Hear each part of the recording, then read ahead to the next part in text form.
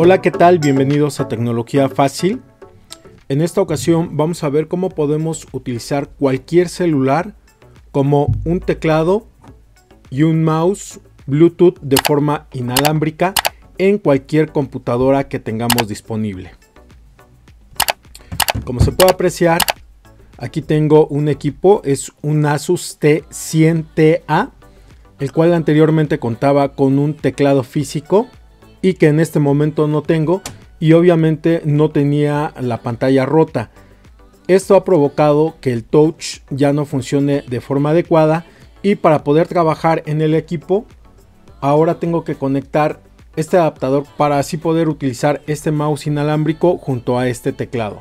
Anteriormente esta entrada me servía para conectar la corriente eléctrica y solamente activaba este switch para que el dispositivo cargara. Como se puede ver, en ocasiones sí funciona, pero ya por el uso constante no funciona. Para no gastar mucho, decidí mejor utilizar este teléfono celular como dispositivo Bluetooth de teclado y mouse. Lo primero que vamos a hacer es activar el Bluetooth en nuestro equipo. Nos vamos a ir a configuración. Si está apagado el Bluetooth, obviamente hay que encenderlo. Y ahora en nuestro celular vamos a buscar la aplicación que es necesaria para hacer este procedimiento. La podemos obtener de dos formas. Podemos ir a la tienda de Google y buscarla como teclado y mouse Bluetooth sin servidor, pero como es una aplicación gratuita, solamente nos va a dar acceso a lo que sería el servicio de mouse. Si queremos activar el teclado o acceso por medio de iconos y que sea más fácil el funcionamiento, tendremos que pagar alrededor de 50 pesos o poco más de 2 dólares. Si no cuentan con esa cantidad o no tienen forma de comprar esta aplicación, entonces pueden ir a la tienda Aptoid. Si no la tienen, la pueden descargar. En la descripción de este tutorial les voy a dejar una liga para que descarguen tanto la tienda Aptoid como la aplicación desde Google Play y también para que puedan descargar esta misma aplicación desde la tienda de Aptoid. Si no pueden realizar las descargas desde las ligas que voy a dejar, solamente busquen la aplicación como Bluetooth Keyboard and Mouse y cerciórense que sea este mismo icono que aparece aquí. Ya estando descargada van a pulsar en abrir y pulsan en empezar. Ahora vamos a configurar un dispositivo nuevo. Damos clic en nuevo dispositivo y aquí nos dice que desde nuestra computadora agreguemos un dispositivo nuevo Bluetooth. Entonces vamos a esta opción, agregamos Bluetooth y cuando aparezca el nombre de nuestro teléfono lo seleccionamos y esperamos a que se conecte. Aquí ya nos apareció la señal de vinculación por vía Bluetooth, la selecciono, selecciono todos los permisos que me pide y doy clic en vincular. Aquí también ya me apareció conectar, lo selecciono y nuevamente aquí hay que ir a otro procedimiento de vinculación. Lo selecciono y ya ha quedado vinculado nuestro teléfono a nuestra computadora. Vamos a cerrar aquí en listo y solamente para que vean en nuestra computadora ha quedado conectado como un dispositivo de teléfono pero también como un dispositivo de entrada. Muy bien, vamos a probar. Aquí estoy moviendo el mouse, si ustedes pueden ver. Está moviéndose sin mayor problema. Voy a desconectar el adaptador ya no tengo acceso por medio del mouse y ahora voy a conectar lo que es eh, el cable de corriente directa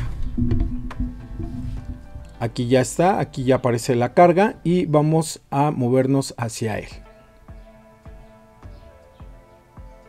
perfecto está funcionando de forma correcta ahora voy a abrir una página para que vean cómo funciona el teclado para acceder al teclado desde la aplicación solamente vamos a este icono.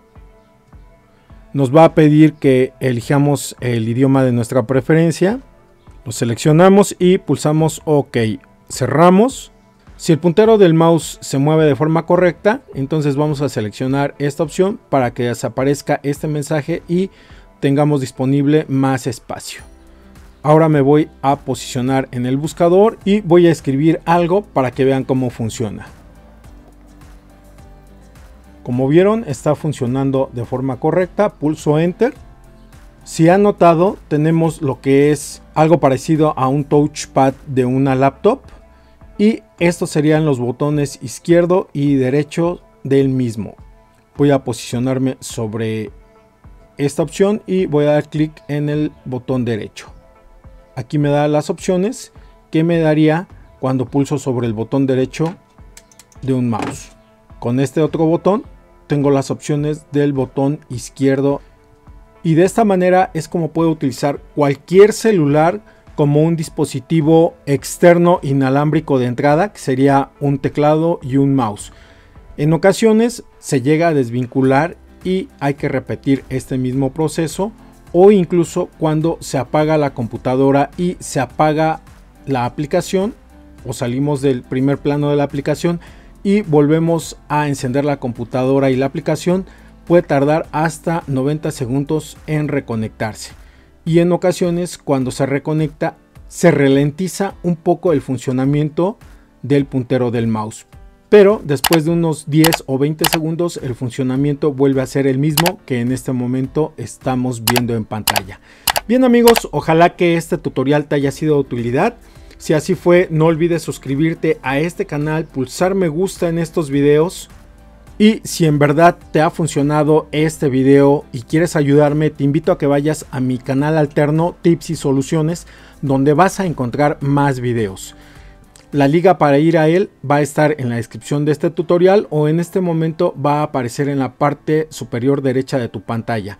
Mientras tanto, te deseo lo mejor y te agradezco por seguirme y ver este tutorial hasta aquí.